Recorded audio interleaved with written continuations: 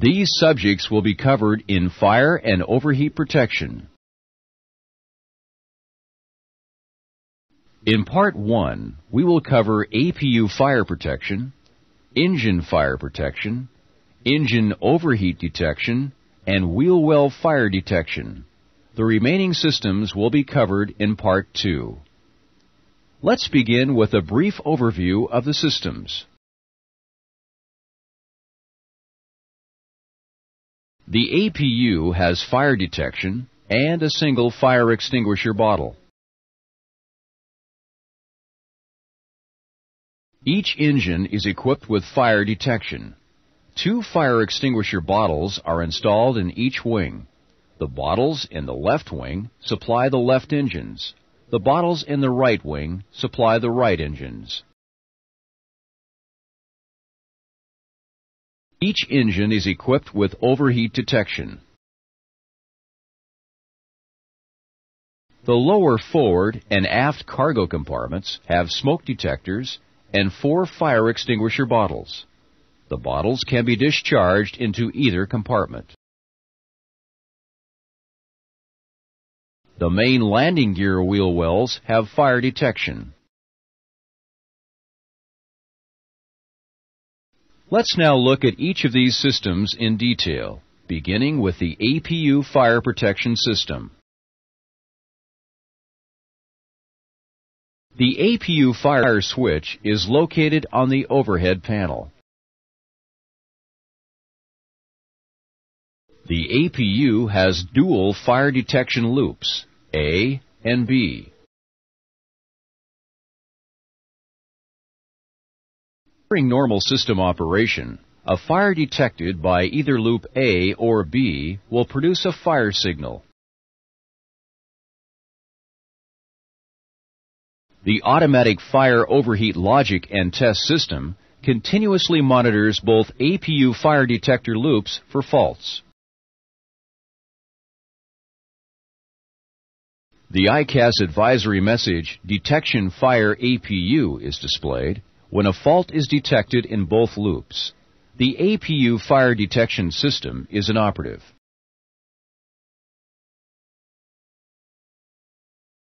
The EICAS warning message Fire APU indicates an APU fire condition. The APU fire switch also illuminates. The message and light remain until the APU fire condition no longer exists.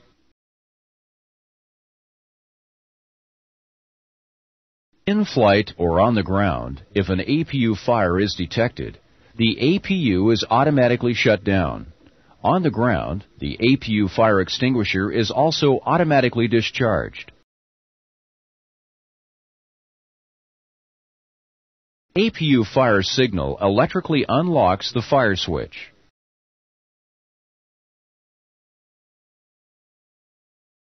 Should the fire signal fail to unlock the fire switch, it can be unlocked manually by pushing the override release while pulling the switch.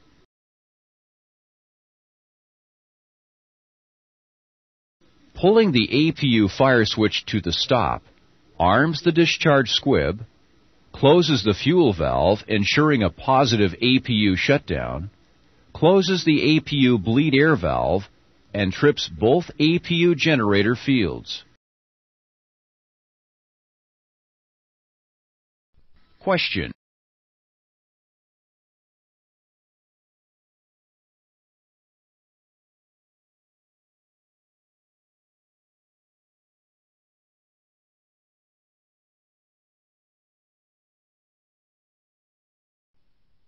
Answer B is correct.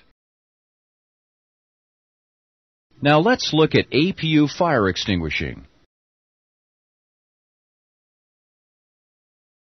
Pulling the fire switch unlocks the switch for rotation. Rotating the APU fire switch in either direction to the stop discharges the fire extinguisher bottle. The APU fire switch remains in the rotated position.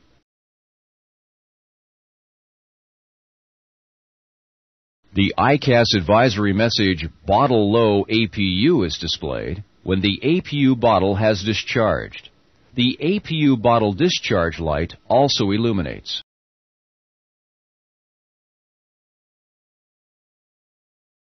Question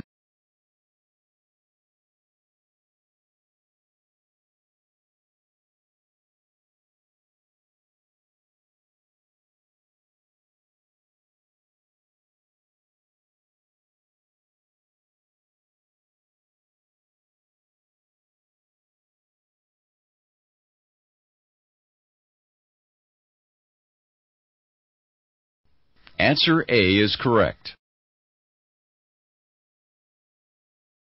For ground operations, an APU remote control panel is located in the right body gear wheel well. An APU fire is indicated by the APU fire light and an intermittent warning horn at the remote panel. The light will remain illuminated and the horn will continue until the APU fire condition no longer exists. Auto shutdown and fire extinguishing occurs immediately.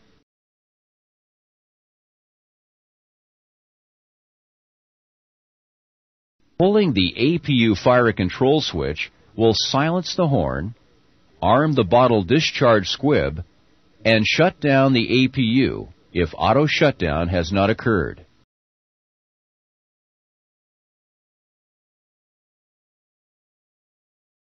Pushing and holding the APU extinguisher discharge switch discharges the fire extinguisher bottle into the APU compartment.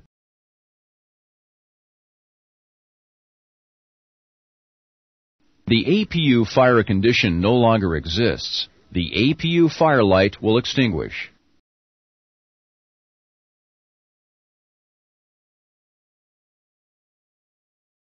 Now, let's look at the engine fire protection system.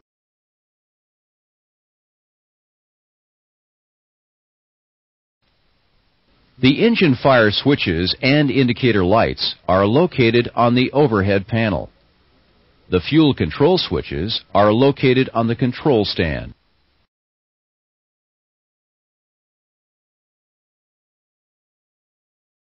The engine fire switches and indicator lights are located on the overhead panel. The fuel control switches are located on the control stand.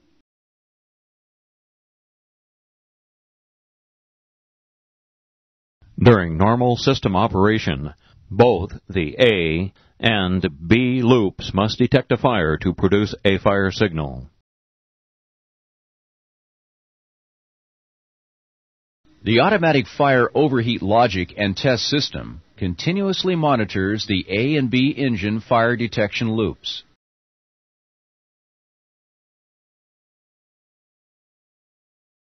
When a fault in one loop is detected, the system automatically configures itself for single loop operation.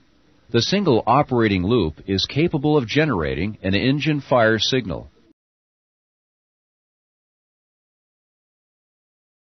The EICAS advisory message Detection Fire Overheat is displayed when a fault is detected in both loops. The engine fire detection system is inoperative.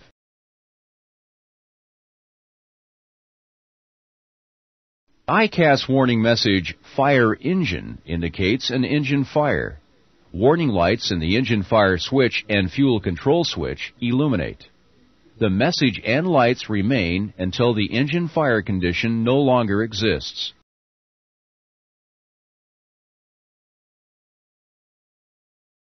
An engine fire signal electrically unlocks the fire switch in the same manner as the APU fire switch.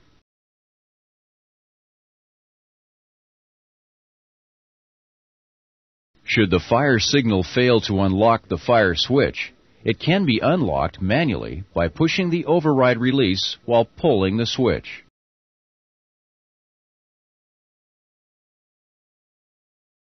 Pulling the fire switch closes the bleed air valve, closes the engine driven hydraulic pump shutoff valve, closes the spar and engine fuel valves, trips the generator field and generator breaker, and arms discharge squibs.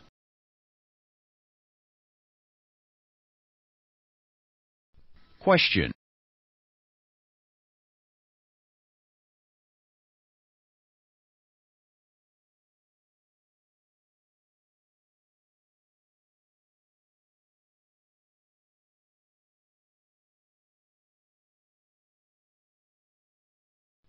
Answer C is correct.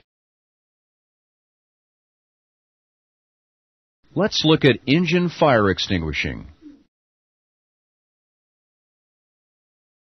Two fire extinguishing bottles, A and B, are located in each wing. The bottles in the left wing supply engines number 1 and 2. The bottles in the right wing supply engines number 3 and 4.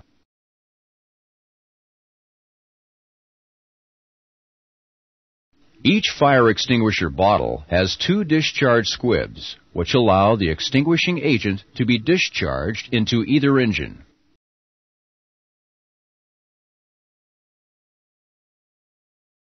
Pulling an engine fire switch out to the stop arms the squibs and unlocks the switch for rotation.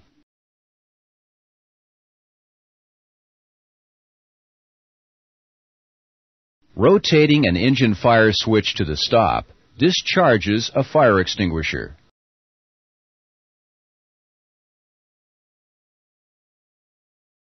The EICAS advisory message Bottle Low is displayed when the selected bottle has discharged. The bottle discharge light illuminates.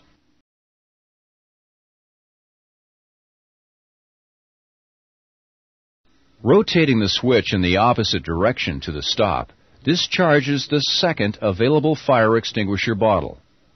The EICAS advisory message Bottle Low is displayed when the second bottle has discharged the bottle discharge light illuminates.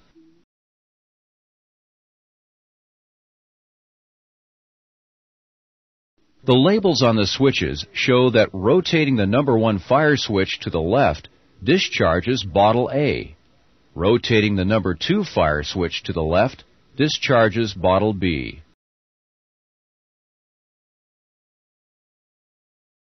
Rotating engine fire switches number 1 and 2 in the same direction, left or right, discharges bottles to both engines.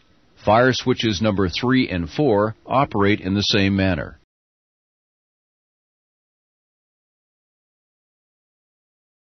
Question.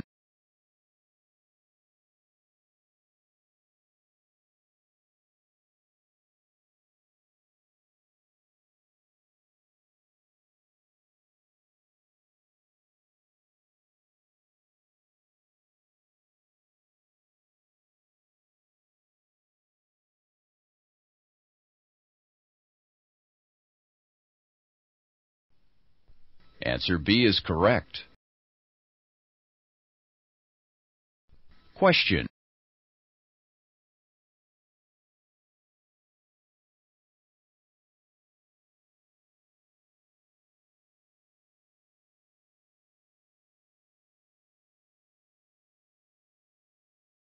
Answer A is correct.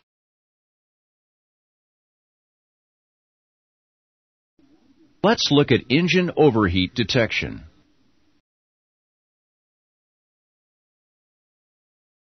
Each engine has dual overheat detection loops, A and B.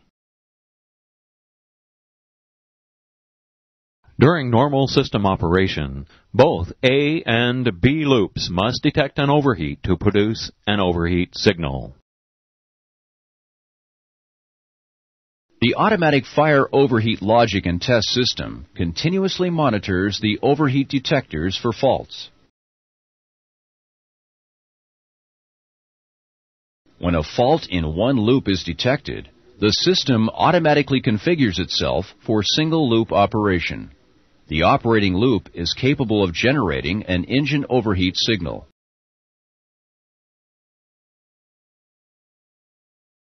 The EICAS advisory message Detection Fire Overheat is displayed when a fault is detected in both loops. The overheat detection system is inoperative.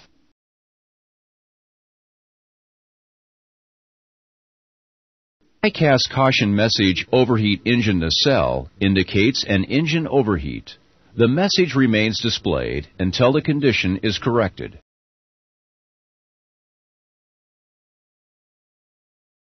Let's look at wheel well fire detection.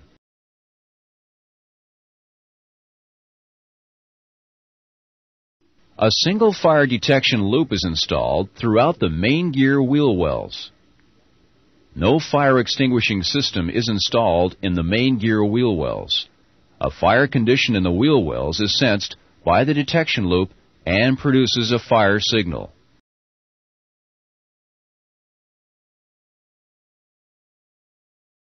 The EICAS warning message, Fire Wheel Well, indicates a wheel well fire condition. The message remains displayed until the wheel well fire condition no longer exists.